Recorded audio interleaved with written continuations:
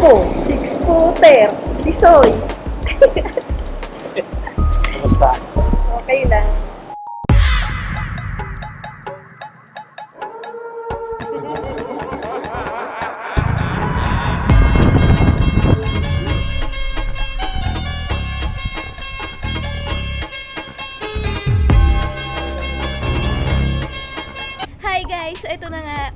Lapag namin dito sa Bicol, naisipan namin mag-ATV. So, dito lang, Summer Over the Rainbow sa Bicol, Legazpi. Uh, may nagdala lang sa amin dito, isang six-footer na matangkad na tisoy, si Kuya Mark.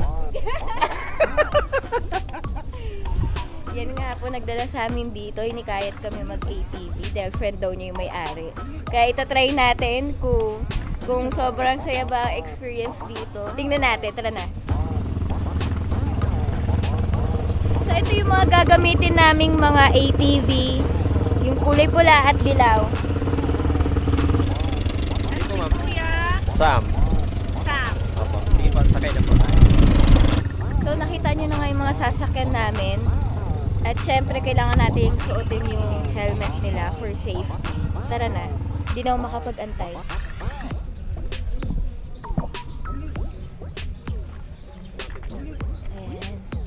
So sinuot na nga natin yung helmet. Sasakay na tayo.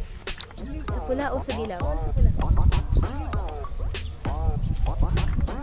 So kung napapansin nyo, naka, naka-shoes ako. Mahal po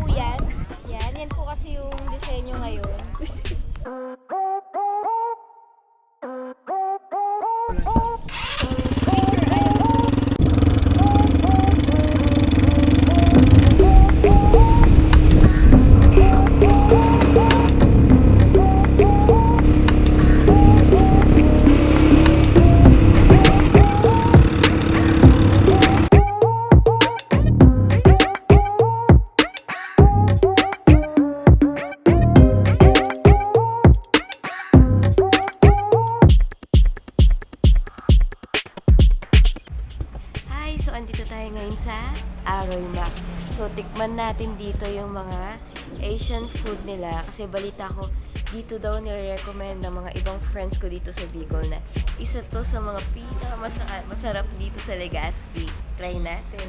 Tara na. Siyempre, hindi mawawala dito si Boss Mark. Boss Mark, pakilala mo naman yung restaurant mo. Ah, kino-congratulate pala kita dito sa successful na restaurant mo.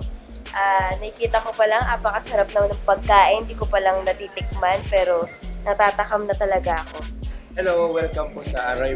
This is the first Asian fusion uh, resto cafe. Fusion of dishes like Thai, Vietnamese, and Filipino food. So kung makikita nyo mamaya yung bestsellers namin, um, you would see a lot of kumbaga, combinations of Asian food. So yun lang. So basically, may apoy, maanghang yung food namin. Diba? Mostly maanghang. Na-impress talaga ako dito kasi bira lang ako makakita ng restaurant, iba't ibang klaseng Asian food.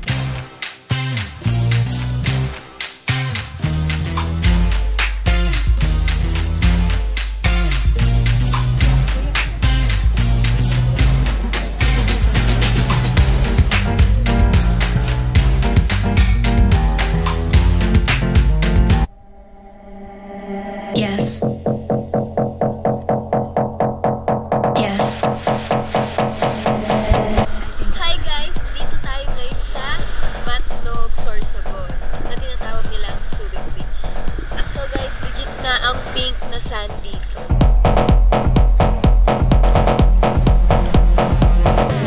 I think I like it. Hi! So, andito na tayo ngayon sa Huwag Lagoon. So, dito kami mag-snorkeling.